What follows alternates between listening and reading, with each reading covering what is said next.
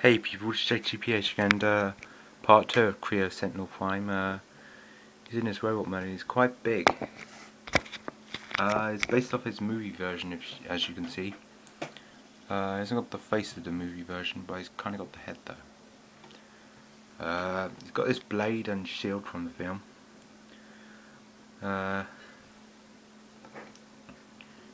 if you would to, you can uh, you can uh, cover the these these over the Autobot logo because he's a traitor in the film. But I prefer to have it like that because it makes him more compact.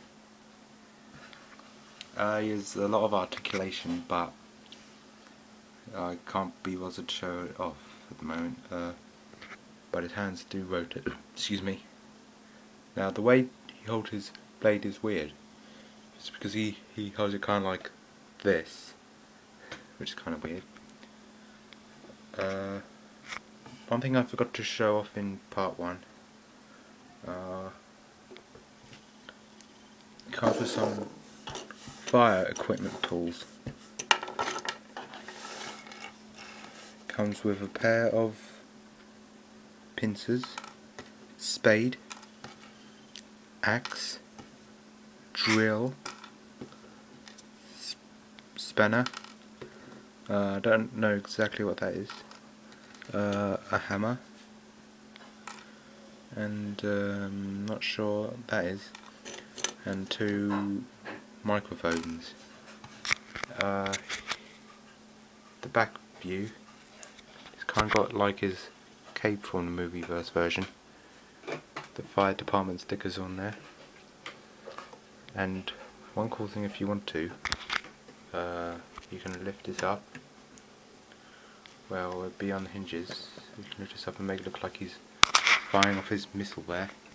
I'm just going to put that back on my camera. There we go.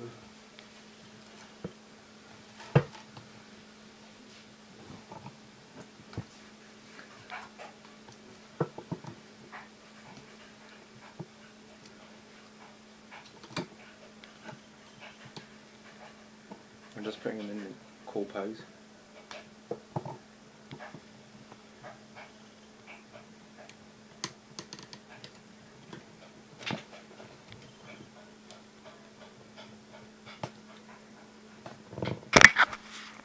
Okay, so there he is in an awesome pose. Uh, yeah, this is a really awesome figure.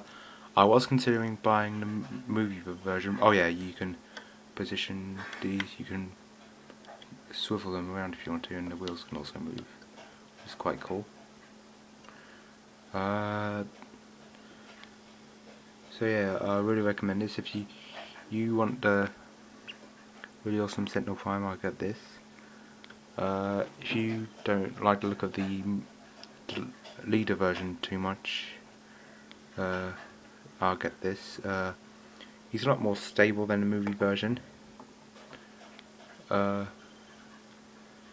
so yeah, uh, movie version, the movie leader version, uh, he he you have to put his legs in a certain position, but this guy you can pose anytime you want to. So yeah, this has been my review of Kreo Sentinel Prime, and uh, next review will be Optimus Prime, which that's going to take a long time to build. Bye.